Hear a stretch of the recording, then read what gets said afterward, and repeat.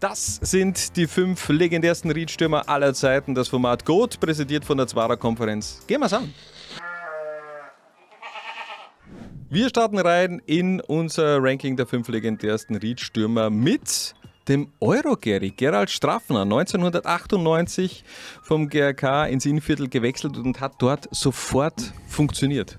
Richtig, ja. Ähm, hat insgesamt 62 Spiele gemacht für den Ried, der 24 Tore erzielt ähm, und äh, hat sie ins Cupfinale geführt und dann äh, im Europacup für Furore gesorgt gegen im damaligen Bewerb äh, Cup der Cupsieger, ja. äh, kennen die meisten höchstwahrscheinlich gar nicht mehr so, aber da haben im Grunde die Cupsieger dann auch sich gemessen untereinander, ähm, entwickelte sich dort auch zum Euro Gary 1998 mhm. im Herbst mit seinen zwei Toren gegen MTK Hungaria und ein Tor auch gegen Maccabi Haifa mhm. erzielt. Also sie haben eine Runde überstanden und dann war eben Endstation bei Maccabi Haifa. Das hat schon gereicht, um zum Euro Gary zu Ja, damals. okay, aber ganz ehrlich, da, meine, das sind, sind, drei Tore in vier Spielen. Ja. Davor eben auch die, die, wichtigen Tore im Cup, um überhaupt dieses äh, Europacup-Ticket zu sichern.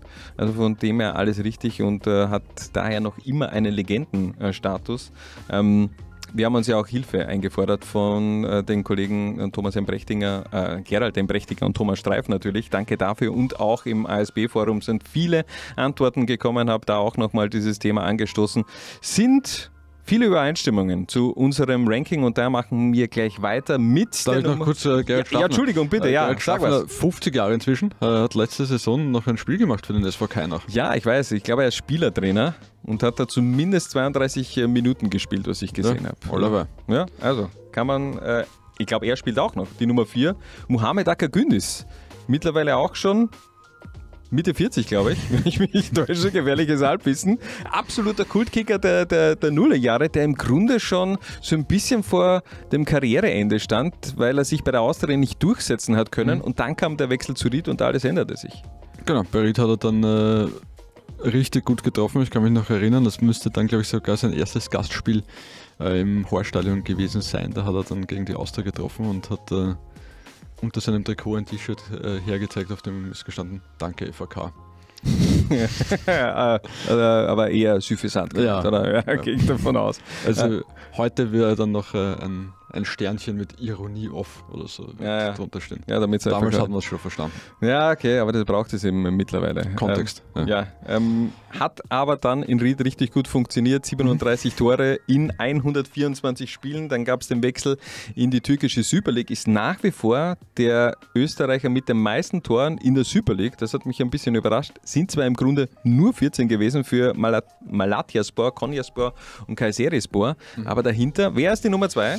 Hinter, nee, jetzt schau nicht. Schau nicht. Ja, ähm, wer ist die Nummer zwei hinter äh, Mohamed Jakob Janscher. Nein, wieso Jakob Janscher? Ich meine, okay, der Parisisburg glaube ich für ein, ein halbes Jahr gespielt. Ja. Dann schießt er keine 15 Tore und dann geht er. Äh, nein. Nein. Nein. Nein. Ähm, keine Ahnung. Ich sag, sie gegen einen anderen Spieler noch. Äh, Roland Linz. Er hat nie in der Türkei gespielt, oder? Gaziantepspor. Wirklich, Gaziantepspor. Ja. Ähm, ich glaube, die Nummer 2 hat auch bei Gaziantepspor gespielt. Ekrem Tak. 13 Tore hat er gemacht. Ah, sehr schön. Er hat, glaube ich, auch die gemeinsam mit Willi Kavler, glaube ich, dann auch die meisten Spiele als Österreicher in der Türkei. Also sage ich jetzt einfach mal so. Ja, ist ja wurscht. Ist ja egal, ja. ja ähm, auf jeden Fall, Mohamed Akagünditz dann auch zurückgewechselt nach Österreich, um Champions League zu spielen bei Rapid. Mhm. Ähm, nach der Meistersaison die äh, sechs legendären Spieler, wo man dann null Punkte geholt hat in dieser Champions League-Saison 2005, 2006. Und, äh, aber dennoch, der bleibt schon, finde ich, in guter Erinnerung in Ried. Ja. Auch wenn es im ASB kritische Worte gegeben hat, äh, dass er, ich glaube, da gab es irgendwie ein, ein, Ende, das jetzt dann doch nicht so, so leibend war. Keine Ahnung. Aber er bleibt äh, ein historischer Kicker der Rieder, denn er ist der einzige Rieder-Kicker, der auch im Dress des Nationalteams als aktiver Riedspieler getroffen hat. Das müsste 2002 gegen Weißrussland gewesen sein. Wahnsinn, ich habe es dir vorne hingeschrieben. Richtig, Harald. So, danke. Dann machen wir weiter mit den Top 3 und den den hätte ich eigentlich jetzt nicht unter die Top 5 genommen, ja. aber den hat eigentlich ein jeder von den Reed-Fans auch gefordert und da gibt es eine besondere Geschichte dazu. Christian Meyerleb, mhm. ähm, 37 Toren in 78 Spielen. Starke Quote. Anfang der 90er. Mhm. Ähm, ein ganz wichtiger Spieler im Innviertel. Mhm. erzähl. Achso, ja, aber du erzählst nein, nein. Du. Also von, von 1992 bis 94 in Ried und er bleibt im Endeffekt auch in Erinnerung für eines der wichtigsten Tore in der Geschichte der SV Ried, denn er hat 1900, was war es, 1992 am letzten Spieltag das Goldtor gegen Donaufeld geschossen und damit den Klassenerhalt für die SV Ried fixiert in der zweiten, in der damaligen zweiten Division, Schrägstrich aktuell Ligas war mhm. und damit äh, den Gang ins österreichische Unterhaus verhindert und damit so ein bisschen auch den Weg geebnet ähm, für dieses Fußballwunder in Ried, was dann ein paar Jahre mhm. später dann stattgefunden hat. Verrückt, dass Donaufeld 1992 in der zweiten Liga gespielt hat. das hat mich auch geflasht. Aber was wäre passiert, wenn Donaufeld oben geblieben äh, wäre und äh, Ried runtergegangen wäre? Das sind so, so was für Eventspiele, ja, aber ganz ehrlich, weil Ried, also der Kollege Thomas Streif hat, äh, hat mir geschrieben, dass es dann vielleicht nicht so schön ausgesehen hätte in Ried. Mhm. Dass man dann eben vielleicht auch in der Versenkung verschwunden dann wäre. Dann wäre vielleicht im Laufe der Jahre irgendein anderer äh, kleiner äh, oberösterreichischer Club nach oben gekommen. So, weiß ich, aus einem Linzer Vorort zum Beispiel oder so. Stadl Bauer. Pasching. Ah, Pasching. Ja. Ja, stimmt. Möglich. Ja. Möglich. Ähm, also, Christian Meyerleb mhm. auf der 3, wir machen weiter. Gespannt. Wer ist auf 2? Wer ist 2? Es, es, kann nur. Also, das, also die das zwei waren, waren ja. überall äh, im Grunde ganz, ganz vorne und das mit Abstand. Hamdi Salih, 40 Tore in 92 Spielen, damals von Otto Baric als der Bomber ähm, in Anlehnung an Gerd mhm. Müller bezeichnet. Gerd damals, Müller Albaniens. Ja, der Gerd Müller Albaniens, Otto Baric damals Nationalteamchef Albaniens mhm. und da hat eben Hamdi Salih auch schon ähm, abgeliefert und der war für mich immer so ein, ein Sympathieträger im österreichischen Fußball. Ja, war schon ein ziemlicher Coup, dass den äh, Stefan Reiter damals nach Ried mhm. lotsen hat können, weil eigentlich äh, war der die Wochen und Monate davor immer beim SK Rapid im Gespräch. Ähm, Peter Backult hat sehr mit einem Transfer geliebäugelt, ähm, ist dann ins Innviertel gekommen und hat sich halt dann hat Rapid ein bisschen mehr Geld hinlegen müssen, ne, als es dann äh, 2009 soweit war. Genau. Haben sie ähm, Geld hingelegt? ich glaube 600.000, wenn ich mich nicht täusche. Es ja. war der Sommer, wo dann, glaube ich, auch Nikica, nein, Nikica Jelavic ist ein Jahr später dann erst gegangen, wenn ich mich nicht täusche. Nein, Nikica Jelavic ist damals, äh, hat den Verein verlassen, diesen unrühmlichen Abgang und dann hat er Rapid schnell reagieren müssen und hat, glaube ich, haben die Sali geholt, oder war das? Nein, Jan Weniger auf Fesseling war 2010. Ähm, nein, Sehr gut, ja. mhm. haben, sie, haben sie damals geholt. Und dafür hat Ried aber einen anderen legendären Kicker geholt, nämlich Atenuio. Wechselte damals von Austria Kärnten äh, ins Innviertel. Was waren ähm, das für Zeiten eigentlich? Genau, also Rapid hat im Sommer 2009 Jelavic und Sali geholt. Ja. Nachdem ja. Hofer und Meyerhofer den Verein verlassen haben. Du erinnerst dich? Ja. ja. Ähm, Jelavic ist fix verpflichtet worden. Er war zunächst nur ausgeliehen. Ja. Ja, haben das Ried Vizemeister. Ja, ja, das gleiche in seinem um, ähm, ersten, ersten Halbjahr. Und dann äh, Helikraft, ja. wenn mich nicht alles täuscht. Das ist verrückt.